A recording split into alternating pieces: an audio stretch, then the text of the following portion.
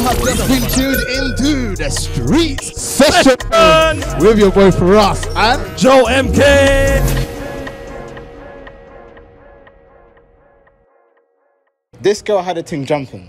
This girl basically said, if I'm going on festival stage, I'm killing it. This girl basically said, if I get that one thousand pound marketing check, I know where to use it. This girl basically said, when I pull up to that studio session, yeah, with them professionals, I might not even need you. like it was fire. We got Shelana Azora in the building, linking up again. Obviously, we link up all the time. Look up all the time. It's every day. We outside. All right, listen, we're here at Hoxton Underbelly again, and you know what? I can't lie. You was doing impressed. I was doing press with you at Strawberries and Creams. It was a, it was a lit man. Work hard, play hard. That's all we can say. And we we did an interview there, Yes. and we spoke about you potentially being on a festival stage. Oh yeah. I think we did. Yeah? I think we did. Yeah, yeah, yeah. Caught you in 4K. Caught me in 4K, manifesting my wildest dreams, and now I've got the opportunity to potentially play at one. So yeah, let's. Nah, I can't even lie. Listen, like jokes aside, like that performance was amazing. I think what you do that I felt like a lot of people didn't really do today was engage with the audience, um, give us music that wanted us to actually move. Um, in terms of that being part of your performance, was that something that you were actually trying to do when picking the songs you was playing today? Hundred percent. Like whenever I do a set, I'm always thinking about like obviously you want to make the crowd happy, but I also want to make myself happy and choose my best songs. Mm. But it's kind of a weird one because I sing R and B, right? Mm. And it's not known to be the most jumpy genre. Like if I could, I could just sit there and just stand and close my eyes and sing, but you have to find that balance, like you said, between like engaging with the audience. Mm. I feel like the way I do it is through storytelling. I love to tell my story. I talk too much, but it's the way that at least I'm telling my story. Like, what's the point of doing this music if you don't know why? Do you know what I mean? So, obviously, the music speaks for itself as well. But it's always nice to kind of say, like, this is where it came from, like inside, and and I think people connect with that, and then they're just drawn in much more when they when they hear the story behind it. So that's it. No, no, and I have to talk to you as well, also about you know. Let's rewind. Let's rewind that. I'm editing it. So uh, when you look back at it, Sharif, cut. Anyways, um, telling myself that. Um, I want to talk about, you know, obviously you're, you're about to be on a festival stage, and we did manifest it last year, which is mad. Amen. You definitely will, but I generally can't see in any way that you don't win, personally. Um, what would that mean to you, though? You know, to you know, go from because obviously, I think your first time backstage experience was with me doing press, right? Like going from being backstage doing press to then on stage a year later, uh, it's almost basically 365 days, literally a year later, almost. Like, what would that mean to you? Honestly, it would mean everything to me, and I think it would just prove to myself that actually, when you focus, when you believe in yourself, mm. when you put your focus onto something and your goals, then it can happen. Do you know what I mean? Like it not, it can happen, it will happen, mm. and I think like for once, I'm actually getting to the point where I actually believe in myself, and I know it sounds mm. mad. It's not like in any kind of cocky way.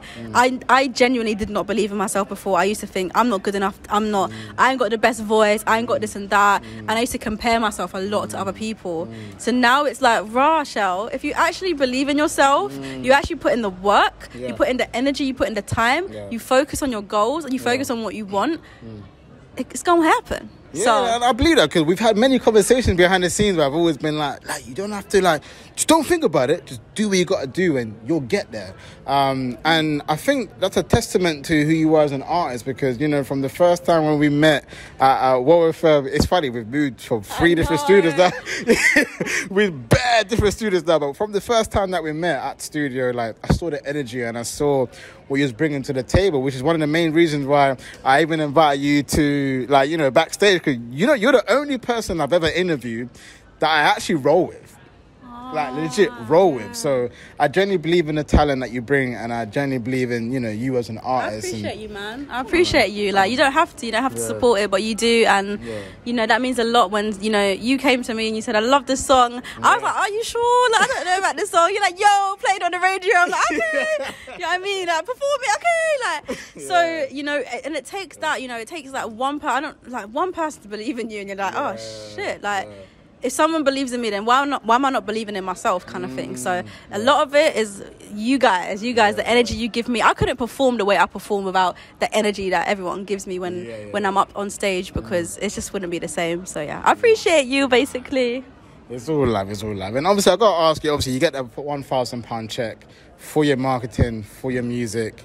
Um, what would you want to spend mostly on? Because obviously, you know, in terms of marketing, you know, we've got the social media side of things now: Instagram, TikTok, Snapchat, Facebook. You know, you can even add YouTube ads to that if you want to say.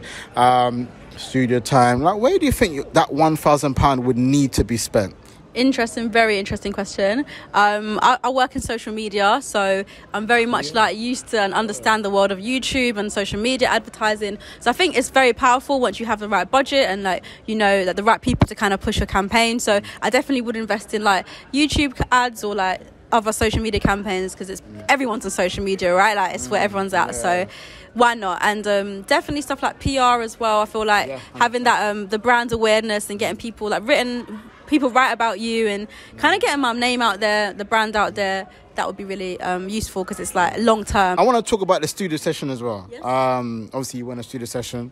Um, I heard it's, it's, it's more than one day as well, so it's, it's a good mm-hmm. session. Um, how important is that? You know, getting that kind of you know, feedback and also being in a room with somebody that's been around, been around the block, worked with, you know, some of the biggest artists in the game right now and being able to gain that kind of experience, being in that kind of room. As an as an up and coming artist or personally for me I'll say you're already there but you just need that shout. But you know, as an up and coming artist, um, being in that kind of like space, how how does that make you feel? I feel like it would be so valuable because you know first of all, studio time's expensive, and it kind of holds like, a lot of artists back from writing music and being able to like actually put your music out there. So like that's a good opportunity. You know, not only can I write a song, but I can actually get it professionally, you know, made and stuff like that. And all that feedback, like I always said, mentoring and artist development is probably one of the most valuable things you can ever have because mm. it's like sometimes I just need someone to be like, yo, is this idea good? Like, what do you think about this? Do you know what I mean? Yeah, because yeah, if I'm just doing it by myself, like I, I don't have a manager, I'm self managed, I'm fully independent, yeah. and I run everything from my campaigns to my mm. writing to my it's literally a one a one woman show. So, you know, having that support artist development wise would be amazing. So yeah. Listen, all I'm gonna say to you is this, right? We're gonna end it like this. Listen, We've been outside from days.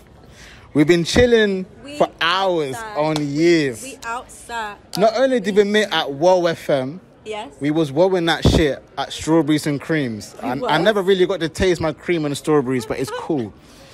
I'll, I'll take that L. I really want strawberries and creams. Know, Somebody hook it up. I actually have strawberries and cream. Strawberries and cream, like that needs to be a thing. Why isn't there strawberries and cream? About strawberries and cream. Listen, Chris, we had that great interview. I actually asked him. That's, that's my first question. He looked at me. He was went, uh, I went, yeah. Um, but no, honestly, listen, Shelana, you need to be on that big stage, and I'm gonna say this even if you don't make it to this festival, I know there's going to be many, many festivals that's going to be there for you. So, hottest in the streets. She's not for the streets, fellas. Not for the street. Ain't no love in the streets, but it's okay. Facts. That's my new she song, would accomplish the streets. Her music is so hot. She got the man them singing like we girls. That's why she will be at every other festival that we don't even know about. Big Amen. up to Shelana Azora. Amen. Man. Amen. Come on, love So make sure you lot stay locked in. Check us out. Whoa FM 90.4. This is the street sessions. Your boy Firahs with Shelana Azora. All of stuff will be in the link in the description below. So check her out. Obviously, no time is out. Crew is no out. No love. No love is coming out soon. So I don't know when it's going to drop. On the 5th of August. 5th of August. If this comes out after that, go run it up. Get me. Yeah, this will be up before the 5th. So make sure you lock in on the 5th of August. If you got a pre order link, give me that. I'll put it in the yeah. description below. And listen, man. Listen, we just outside, man. We, we outside. outside. With your boy Firahs and Joe MK. Why is this the name of our show, bro? Because we're the hottest in the streets. Mm. Purchase online, on the go, and on the FM. Okay, let's go.